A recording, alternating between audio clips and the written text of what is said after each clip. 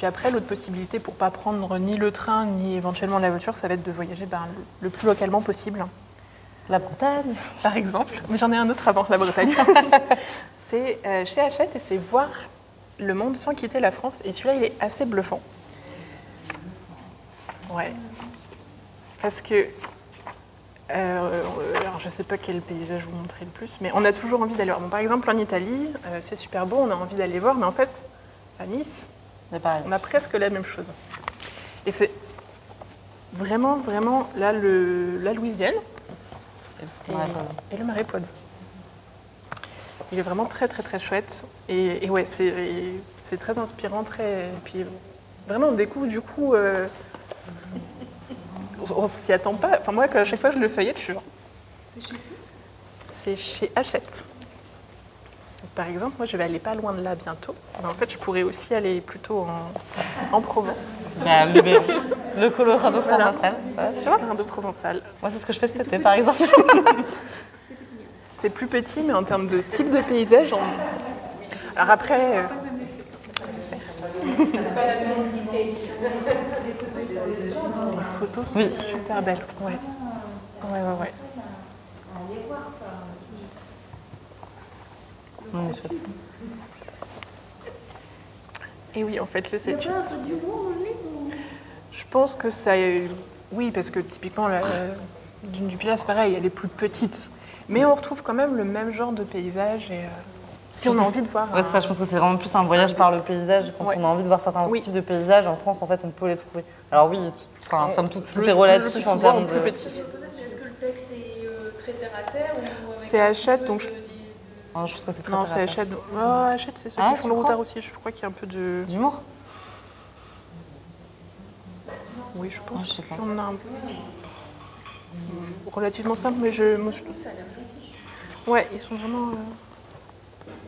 euh, vais Donc en voilà, plutôt que premier réflexe, euh, aller très loin, on peut réfléchir. En fait, il y a peut-être le même genre de paysage euh, plus près. Et ensuite la Bretagne.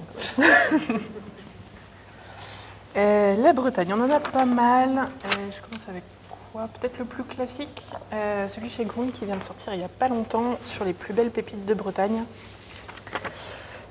Donc à l'origine, les Pépites de France, c'est un compte Instagram qui a été lancé pour faire découvrir au plus grand nombre les trésors français en relayant les plus belles photos et vidéos des réseaux sociaux. Du coup, ce guide-là, c'est que la Bretagne, il y a plusieurs versions. Et il est découpé en deux catégories. Vous avez les pépites naturelles et les pépites du patrimoine. Et donc à chaque fois, vous avez pareil des illustrations, des infos. Donc le découpage est intéressant, je trouve, pour euh, savoir quel genre de. Est-ce qu'on a envie de, voir de la vieille pierre euh, Quel type de vieille pierre on a envie de voir? Est-ce qu'on a envie de voir de la vieille pierre naturelle ou voilà. Donc des destinations euh, assez classiques, d'autres peut-être un petit peu moins. Et il y a des petits pictogrammes. Bon, là, il y a Saint-Malo. Il y a des petits pictogrammes en haut qui vous proposent, par exemple, pour Saint-Malo, on a baignade d'activités nautiques, culture patrimoine et panorama. Pareil, donc savoir quel genre de. Quel genre de. Quel genre de destination et d'activité on a envie de faire, comme tu. Et puis, euh, un petit plus intéressant, intéressant en tout cas pour certaines personnes, pour ce livre-là, euh, pour rappeler l'origine d'Instagram, vous avez à chaque fois un petit, euh, un petit spot photo incontournable, où prendre la plus belle photo. C'est comme ça qu'on fait la queue après sur des spots euh, comme à Bali, là où il y a la queue, ils payent 2 euros pour avoir la photo sur euh, la balançoire. Là. Mm. Voilà, ça va. Instagram. Instagram. Donc là, c'est un guide de Rennes. C'est le genre de guide qui peut être, euh, je trouve, peut être sympa à la fois pour des personnes de passage, mais aussi Pour, pour des personnes qui Mm. vivent à côté. Il y a beaucoup de très belles illustrations, plein d'adresses, des choses évidemment, le haricot rouge, voilà, on- celui-là on le connaît, mais euh, C'est notre QG du midi. la réponse. il, y a du, cu- il y a- il y a de la culture, il y a du shopping, il y a des adresses, il y a des recettes, et il y a aussi les meilleurs endroits où courir, des choses sur le running, voilà, pour ceux que ça intéresse.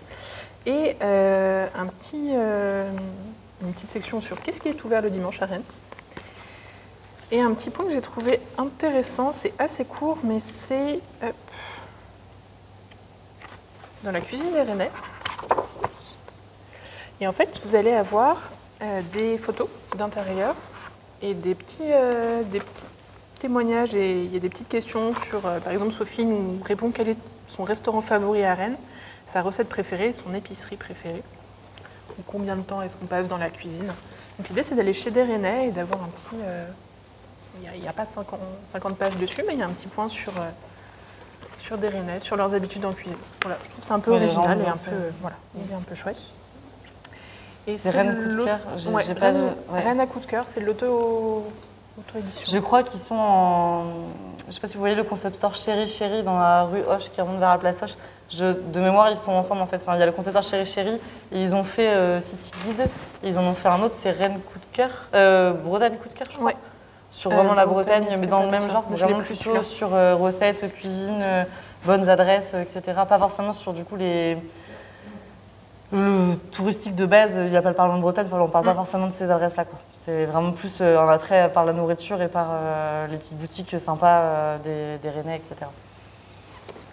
Ensuite, je vais avoir ces deux-là, Papier Bretagne. Alors, Papier, du coup, pareil, petite maison euh, indépendante, les éditions Papier, qui font des guides. euh, il y en a plusieurs. Il y a le Pays Basque et il y en a d'autres que j'ai oubliés. Mais en tout cas, vous avez aussi la Bretagne. Et donc là, on est sur des guides avec des très, très, très, très belles, euh, très riches en photos et des.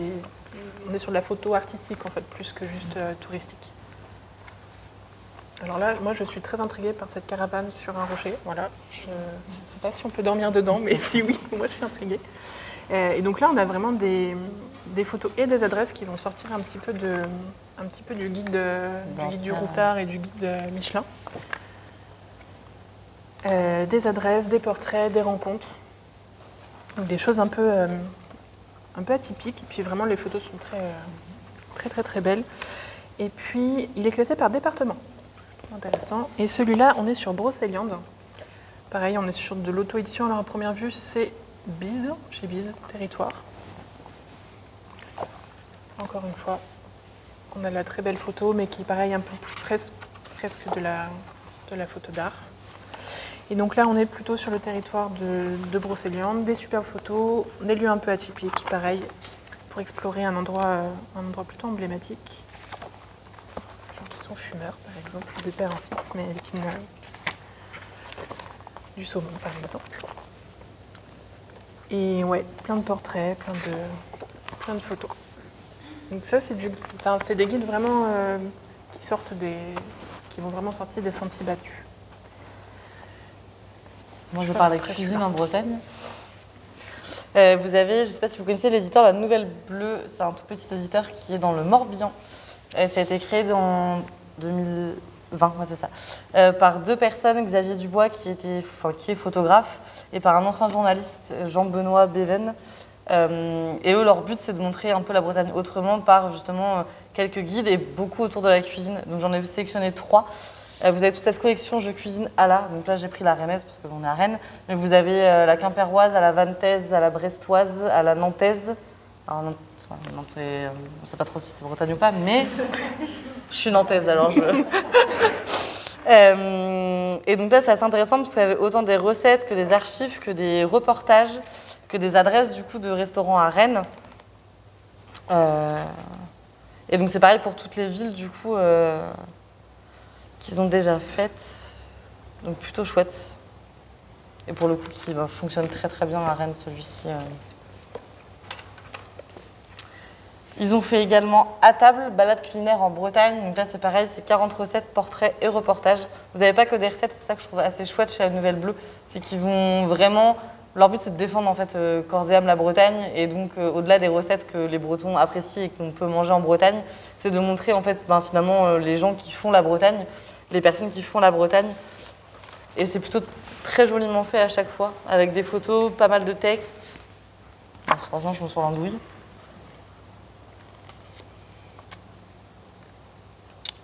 Donc voilà, euh, j'aime assez ce qu'ils font. Et ils ont fait recettes des îles bretonnes également. C'est juste une petite sélection parce qu'il y en a d'autres, euh, ils en ont fait d'autres, hein, mais toujours sur le même principe euh, portrait, reportage, recettes, euh, avec des chouettes photos à chaque fois. euh. Et à prendre en main, ils sont, ils sont bien, ils sont souples en fait. Par rapport à d'autres très rigides, euh, ils se prennent très bien en main. Donc voilà la nouvelle bleue, si vous ne connaissiez pas, euh, c'est une maison d'édition que je trouve assez importante à avoir en Bretagne. Et avant de laisser la parole pour le petit atlas hédoniste, moi je finis la Bretagne avec la Bretagne autrement de Nicolas Logoff. Il a fait aussi un- une version sur Rennes que j'ai pas apportée, mais il y, a, il y a une version que sur Rennes, Rennes autrement. Donc ce guide-là, c'est un guide qui va se concentrer sur les villes. Donc on a Rennes. Et. Et donc c'est sur les villes, l'idée c'est de redécouvrir les villes c'est pas de se contenter de la Bretagne avec les images de cartes postales, avec les plages, avec, euh, mais c'est aussi d'aller voir euh, la Bretagne qu'on peut vivre en fait euh, au quotidien. Pareil, moi, pour moi, c'est le genre de guide qui, est chouette que ce- qu'on habite euh, dans le coin ou qu'on soit de passage, avec beaucoup, beaucoup d'adresses, et y compris des adresses un peu atypiques. Donc, dans les choses à voir en se, se cultiver, s'inspirer, admirer. Euh, vous allez avoir les champs libres, vous allez avoir le TNB, vous allez avoir l'hôtel Pasteur. On va pas juste le couvent des Jacobins. Voilà, l'idée c'est pas juste de voir les maisons à colombage et la plage, mais c'est d'aller voir aussi euh, d'autres, euh, plus dans le quotidien en fin de compte. Euh, et enfin, celui-là c'est l'idée de se passer de la voiture. Donc à chaque fois, ça se fait soit à pied, soit en vélo, en train ou en bateau. Voilà, moi je l'aime bien, je, trouve le, je trouve le principe chouette en fait de vraiment euh, réexplorer les, les villes. Et du coup celui-là il est chez Ouest France et vous avez Rennes. Euh, dedans il y a hop, Rennes, Saint-Malo, Saint-Brieuc, Brest, Quimper, Lorient, Vannes. Voilà. Et donc il y, a une- il y en a un spécifique avec que Rennes et peut-être qu'il y en aura d'autres euh, à suivre avec les autres villes. Et après on a le petit atlas et de liste. Petit atlas hédoniste.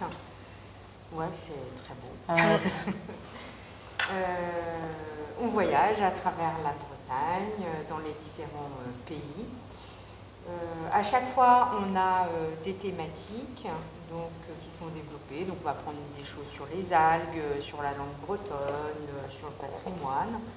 On a également des essentiels. Alors, je ne suis pas très à l'aise. Je vais chercher une page. Donc, des essentiels qui vont vous informer des lieux vraiment qui ne sont pas à manquer, à rater. Voilà, par exemple, la thématique ici, c'est la culture euh, celtique. Donc on apprend des choses. On voyage aussi beaucoup par l'image. Il y a énormément de photos dans, ce, dans cet ouvrage. On a des propositions de- d'itinéraires, donc de lieux incontournables, des lieux où il faut aller dormir, où il faut aller euh, manger.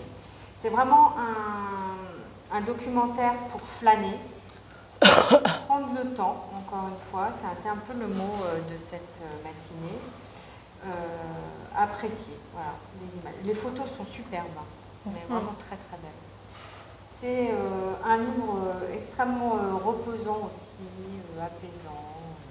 On est bien, on est bien chez nous, hein, on C'est ça. une absolument magnifique. Et puis tous, tous ceux qu'ils ont fait, euh, Ouais, Norvège, Paris, Islande, là, qui- Corse. Ouais, Paris vient de sortir. Ouais, Paris vient de sortir. Euh, très beau. Alors évidemment, ça se met pas, ça se met pas évidemment dans un sac à dos, mais ça prépare son voyage. Ouais, Très très très beau. Moi j'adore. C'est bien. On finit sur un magnifique.